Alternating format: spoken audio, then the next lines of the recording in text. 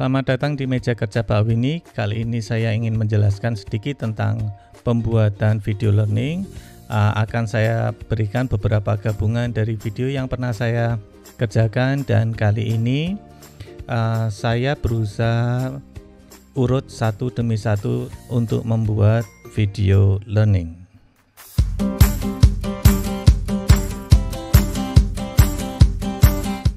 Persiapan untuk video recording.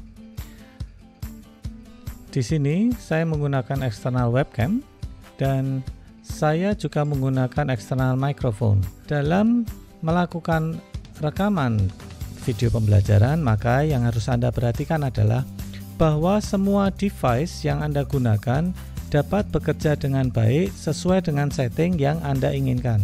Jika Anda menggunakan eksternal webcam, maka Anda harus pastikan bahwa ketika software perekaman tersebut bekerja, maka webcam tersebut mempunyai angle yang uh, pengambilan gambar yang sudah Anda atur, sehingga Anda mendapatkan hasil yang uh, optimum.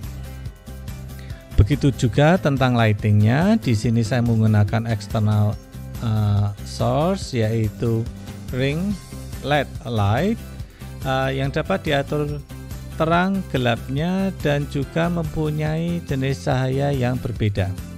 Setting berikutnya yaitu audio. Anda harus paham bahwa setiap device mempunyai karakteristik yang berbeda ketika menggunakan audio yang berbeda, mikrofon dan mixer yang berbeda, Anda harus pastikan benar, paham benar karakter mikrofonnya, sehingga setelah Anda pastikan bisa mendengar dengan kualitas suara yang baik, maka simpan setting Anda. Jika persiapan ini sudah Anda lakukan, maka langkah selanjutnya mempersiapkan media ajarnya atau skenario ajarnya.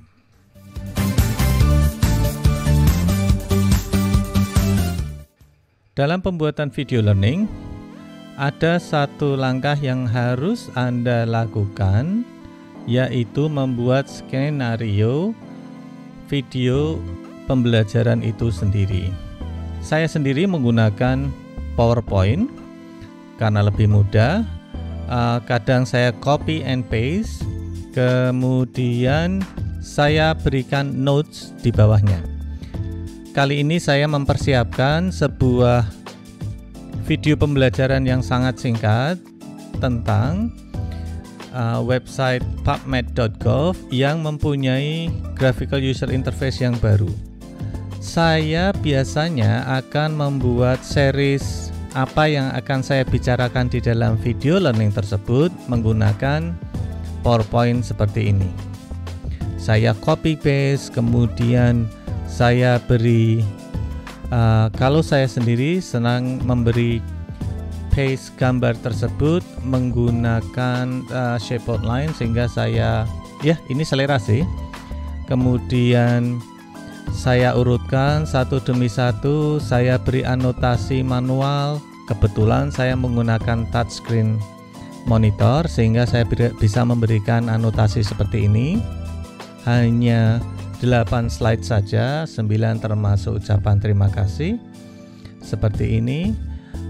Ini menggambarkan apa yang akan saya berikan dan urutan yang harus saya berikan. Ada dua tipe dalam membuat skenario seperti yang Anda ketahui, Anda bisa menuliskan semuanya apa yang akan Anda bicarakan pada scene saat itu. Saya lebih suka free talk seperti ini dan di notes ini cukup saya tuliskan sedikit uh, pointers-pointers apa saja yang harus saya tuliskan. Seperti ini. Saya harus menjelaskan tampilan barunya seperti apa, kemudian apa fungsinya, kemudian langkah-langkahnya, apa yang saya uh, dapat saya gunakan di di website baru tersebut, bagaimana menggunakannya, dan uh, sedikit contoh untuk searching menggunakan website sehingga hasilnya akan Anda lihat seperti video yang segera akan saya kerjakan.